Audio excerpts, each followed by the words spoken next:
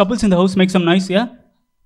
Sir make some நாய்ஸ்னா ஊ ஊ yeah வேற யாராச்சும் கப்புள்ஸ் இருக்கீங்களா சார் ஏன்னா கப்புள்ஸ் நான் ஏன் கேட்குறேன்னா இந்த மாதிரி இவ்வளோ டீட்டெயிலாக கேட்குறேன்னா லாஸ்ட் ஷோக்கு வந்திருந்தாங்க ரெண்டு பேர். சார் கப்புள்ஸ் இந்த ஹவுஸ் மேக் சம் நாய்ஸ்னா அமைதியாக உட்காந்துட்டு இருந்தாங்க. ஓ சார் என்ன சார் நீங்கள் லவ் பண்ணுறீங்களா கப்புள்ஸா அப்படின்னு கேட்டேன். இல்லைப்பா எனக்கு கல்யாணம் ஆயிடுச்சு அப்படின்ட்டாங்க. கல்யாணம்னா லவ் பண்ண மாட்டாங்க போல. பட் இந்த லவ் பற்றிலாம் பேசுகிறப்ப கப்புள்ஸ் பற்றி பேசியிருந்தோம்ல சார் அதில் இன்னொரு மேட்ரு என்னன்னா லாஸ்ட் வீக் ஒரு பப்பில் பர்ஃபார்ம் பண்ணிட்டு இருந்தேன். என்னன்னா ஃப்ரெண்ட் ரோல ரெண்டு பேர் இருந்தாங்க. கொஞ்சம் ஏஜ் டிஃப்ரென்ஸ் இருந்துச்சு. ஸோ கப்புள்ஸாக நான் கேட்கல அவங்கள. ஃபா ஃபாதர் டாக்டர்னு அசியூம் பண்ணிட்டு விட்டுட்டேன். அப்புறம் கொஞ்சம் நேரத்துக்கு மேலே வந்து ரெண்டு பேரும் என்ன நோ பண்ணினாங்க. இந்த பிடிஏன்னு ஏதோ சொல்கிறாங்க பப்ளிக் டிஸ்ப்ளே அஃபெக்ஷனாக இந்த கை கொத்துக்கிறது கட்டி பிடிக்கிறது அதை தாண்டி அவங்க போயிட்டாங்க. அந்த அங்கிள் வந்து அந்த அக்கா உதட்ட கடிச்சு இழுத்துட்டு இருக்காரு பபுள் கம் மாதிரி. அந்த அக்கா அந்த அங்கிள் வாய்க்குள்ளே போயிட்டாங்க. எம்ஆர்ஐ ஸ்கேன்லாம் பண்ணுறாங்க வயிற்றுக்குள்ளே போய். அந்த அளவுக்கு தீப் கிஸ் அது. எனக்கு என்னால் முடியல. சார் என்ன சார் கப்புள்ஸான்னு கேட்டால் இல்லைன்ட்டாங்க.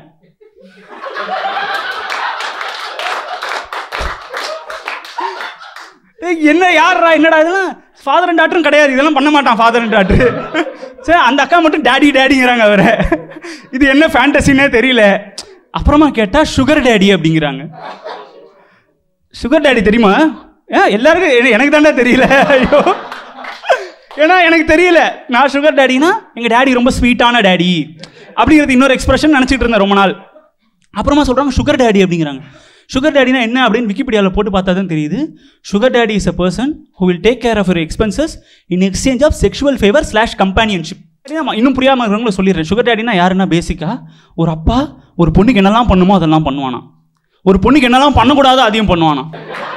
வருது இந்த ஆடு அட்வர்டைஸ்மெண்ட் விளம்பரம்லாம் பார்த்துருங்களா ப்ரோ பார்த்துருங்களா இது டிவிலாம் போடுவாங்களே.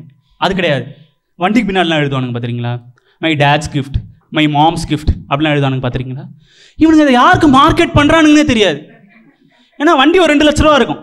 பார்த்தாலே தெரியுது அவன் காசு கொடுத்து வாங்கிருக்க மாட்டான் அவங்க அப்பா காசு தான் இன்னும் ரெண்டு லட்ச ரூபாய்க்கு ஆல்ட்ரேஷன் பண்ணியிருப்பான் நாலு லட்ச ரூபாய்க்கு வண்டி வாங்கினா அது டேட்ஸ் கிஃப்ட் கிடையாது. அவங்க அப்பாவோட வைத்தறிச்சல். அன்றைக்கெல்லாம் வள்ளுவர் கோட்டம் சிக்னல் நிற்கிறேன் ஒரு வண்டி பின்னாடி எழுதியிருக்கான். வாழதான் தான் வழியாது விடுகடின்னு எழுதியிருக்கான். இவன் இதை யாருக்கு எழுதியிருக்கானே தெரியல. இதெல்லாம் கூட பரவாயில்ல. அந்த கோட்டுக்கு கீழே ஒரு ஐஃபோன் போட்டு தினேஷ்னு எழுதியிருக்கான். இன்னும் அந்த கோட்டையை அவன் தான் கண்டுபிடிச்ச மாதிரி. மனசுல பெரிய திருவள்ளுவர்னு நினைப்பேன். எனக்கு என்ன டவுட்னா அந்த சிக்னல் ஒரு மூணு பொண்ணுங்க நின்றுட்டு டே தினேஷ் ப்ளீஸ்ரா போகாதரா அப்படின்னு வழி மறைக்கிறாளுங்களா? நாய் இவன் வழி விட்டாதான் நானே போக முடியும். உட்காந்து எனக்கு எழுதியிருக்கான். சார் இந்த மாதிரி விளம்பரம்லாம் பரவாயில்ல. எங்கள் கீழ் வீட்டில் ஒரு பையன் இருக்கான் ஓகேங்களா அவன் வந்து எந்த மாதிரினா அந்த முடியெல்லாம் பெருசாக வளர்த்து தாடியெல்லாம் வச்சிருப்பானுங்களே. மூஞ்சி மட்டும் குழந்த மாதிரியா இருக்கும். இப்போ வீட விளம்பரத்தில் வருவானுங்களே. அந்த மாதிரி இருப்பான். என்னடா தம்பி அவன் வண்டி பின்னாடி ஒரு ஸ்டிக்கர் ஒட்டியிருந்தான். என்னடா தம்பி ஸ்டிக்கர் அப்படின்னு கேட்டேன். இல்லைண்ணா இவன் பேர் தான் பாப் மார்லி அப்படின்னா பாப் மார்லியா அது யாரா தம்பி? அண்ணா நான் கஞ்சா அடிப்பானா அப்படின்னு சொன்னான். என்னடா பெருமையாக சொல்கிற சரி ஓகேடா. என்னடா இல்லைண்ணா நான் ஸ்டோனர்னா ஸ்டோனர்னா கஞ்சா அடிப்பானா? நான் ஸ்டோனர்னா இப்போ இன்னொரு சிக்னலில் என்ன ஏதாவது ஒரு ஸ்டோனர் பார்த்தானா அவன் இந்த ஸ்டிக்கர் வச்சு தான் ஐடென்டிஃபை பண்ணுவான். இப்போ எப்படின்னா நாங்கள் போவோம் அவனும் இந்த மாதிரி ஸ்டிக்கர் ஒட்டிட்டு வருவான். ப்ரோ நீங்கள் ஸ்டோனரா நானும் ஸ்டோனர் ஹைஃபை அப்படின்னு இங்கிலீஷ் எந்த அளவுக்கு ஒரு கூலான ஒரு லாங்குவேஜ்னா இதை நீங்கள் தமிழில் சொல்லவே முடியாது. ப்ரோ நீங்கள் கஞ்சா குடிக்கியா? நானும் கஞ்சா குடிக்கி ஐஃபை சொல்லவே முடியாது. ஆனால் இவன் சொல்லலாம் சார் வண்டியில் ஓட்டுறவெல்லாம் மன்னிச்சிடலாம். சார் ஆட்டோலாம் ஓட்டுவானுங்க பார்த்துறீங்களா ஒரு ஆட்டோவில் ஓட்டியிருக்கான். நாம் இருவர் நமக்கு ஒருவர்னு ஓட்டியிருக்கான். We two ours one population control பற்றி சூப்பரான விஷயம் இல்லை சார். என்ன ஆட்டோன்னு பார்த்தா ஷேர் ஆட்டோ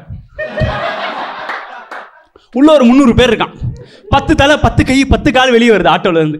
தூரம் கறந்து பார்க்க அந்த ஆட்டோ ராவண மாதிரியே இருக்கு அப்படி.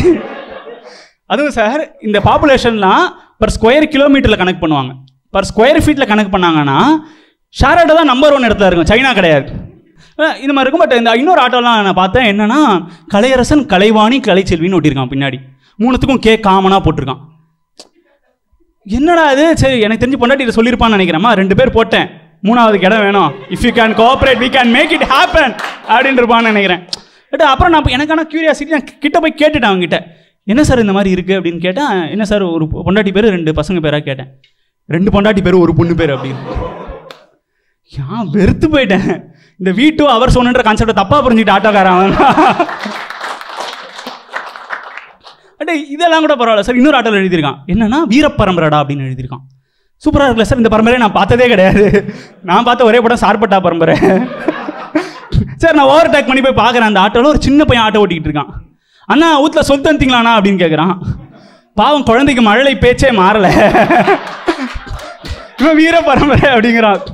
இதெல்லாம் பரவாயில்ல சார் இந்த பப்ளிக் டிரான்ஸ்போர்ட்லாம் ஓட்டிருப்பானுங்க பார்த்துருக்கீங்களா? பஸ்லலாம் ஓட்டிருப்பானுங்க திருக்குறள்லாம் ஓட்டிருப்பானுங்க பார்த்துருக்கீங்களா? அது பக்கத்தில் மூலம் பௌத்திரம் விரைவீக்கம்லாம் போஸ்ட் ஓட்டிருப்பான் ஹைட்ரோசில் ஆப்ரேஷன் பற்றி அன்றைக்கெலாம் நான் ஒரு பஸ்ஸில் ஏறுறேன். திருக்குறள் இருக்கு இல்லையா? அதுக்கு மேலே அந்த போஸ்டர் ஓட்டியிருக்கான் பார்க்க திருவள்ளுவரே அட்வர்டைஸ் பண்ணுற மாதிரி இருக்காது பட் யா இதெல்லாம் பரவாயில்ல சார் அன்றைக்கெலாம் அந்த கீழ் வீட்டு பையன் சொன்னாலே அவனை கூட்டு போயிட்டேன். கூட்டு போயிட்டு அவன் பக்கத்துலேயே உட்காந்துருக்கான் திருவள்ளுவரையும் முறைச்சு முறைச்சு பார்த்துக்கிட்டு இருக்கான் என்னடா தம்பி அவர் ஏன்டா அப்படி பார்க்குறேன் இந்த ஆளால் தானே எனக்கு டூ மார்க் கொஸ்டின்லாம் வந்தது அப்படிங்கிறான். டேய் திருவள்ளுவரா அவரை போய் இப்படிலாம் சொல்கிறியாடா நான் சும்மா இருங்கண்ணா என்ன திருவள்ளுவர் திருவள்ளுவர் திருவள்ளுவர் திருக்குறள் என்னண்ணா? அப்படின்னு கேட்டான். திருக்குறள் வந்து நீ நல்லா இருக்கணும் நல்லா படிக்கணும் நல்லா வாழணும்னு ஒரு அட்வைஸ்ப்பா அப்படின்னு.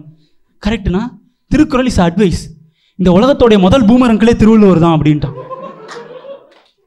எனக்கெல்லாம் தூக்கி வாரி போட்டுச்சு. ஏன்னா திருவள்ளுவர் நான் ஸ்கூல்ல இருந்து இப்போ அவரை டிஃபன் கூட பண்ண முடியாது என்னால். அடி திருவள்ளுவரா? அப்படிலாம் சொல்லாத சொன்னால் என்ன திரும்பி பூமரங்கே அப்படின்றான் என்ன என்னால் டிஃபெண்டே பண்ண முடியாது. யோசிச்சு பாருங்களேன் இந்த காலத்தில் திருவள்ளுவர் இருந்தால் என்ன இருக்கு இவன் வாழ்கிற காலத்தில்? இப்போ ட்விட்டரில் இருந்திருப்பார் திருவள்ளுவர் கரெக்டாக ரெண்டு லைன் எழுதியிருப்பார். அதே திருக்குறள். விஜயாண்டன் லிரிக்ஸ் மாதிரியா இருக்கும் ஒன்றும் புரியாது. உள்ளே போய் ப்ரொஃபைல் பிக்சர் பார்த்துருப்பான். என்னடா ஒன்றும் புரியல ஆள் யாருன்னு பார்ப்போன்னு பார்த்துருப்பான். ஒரு ஆள் ஒரு ஆள் பெருசாக தாடியெல்லாம் வச்சுட்டு குடுமையெல்லாம் வச்சுட்டு இருப்பார். ஸோ இவனும் நம்மளை போல கஞ்சா அடிப்பான் போல. அப்படின்னு அவன் நினச்சிருப்பான். உள்ளே போய் மெசேஜ் பண்ணுவான். ப்ரோ நீங்கள் ஸ்டோனரா நானும் ஸ்டோனர் ஹைஃபை அப்படின்னு மெசேஜ் பண்ணுவான்னு நினைக்கிறேன்.